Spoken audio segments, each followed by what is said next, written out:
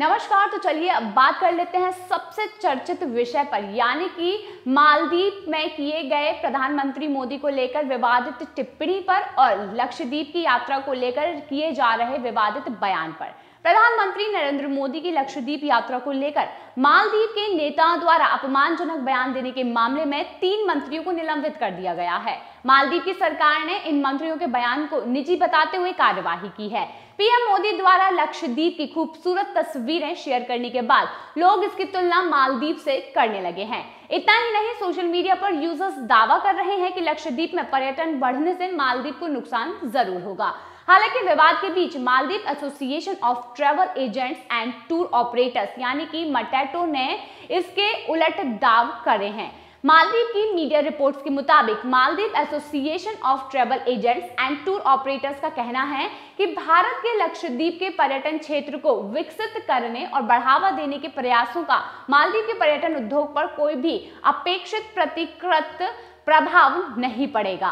दरअसल पीएम मोदी ने पिछले दिनों लक्षद्वीप की यात्रा की थी और इस दौरान पीएम मोदी ने लक्षद्वीप की खूबसूरत तस्वीरें भी शेयर की थी। और भारतीयों से इस केंद्र शासित राज्य को अपने टूरिस्ट डेस्टिनेशन लिस्ट में शामिल करने की अपील की थी। इसके बाद सोशल मीडिया पर कई लोगों ने दावा किया था कि यह मालदीव के लिए झटका होगा।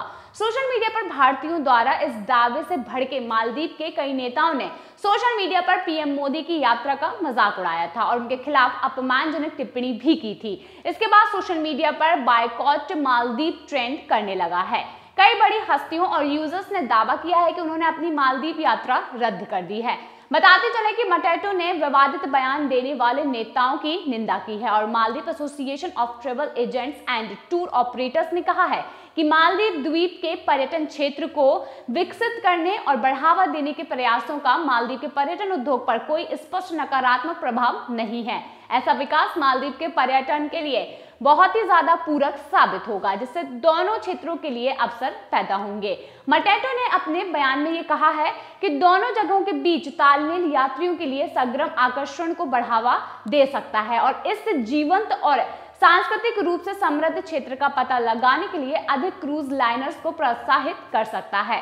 मटेटो ने दक्षिण एशियाई पड़ोसियों समेत सभी देशों के साथ सकारात्मक संबंधों को बढ़ावा देने के महत्व पर भी ज़ोर दिया है। उन्होंने कहा है कि देशों के बीच मैत्रीपूर्ण संबंध, व्यापार और सांस्कृतिक आदान प्रदान सुनिश्चित करने के लिए सहयोगात्मक प्रयास और खुला संचार आवश्यक है।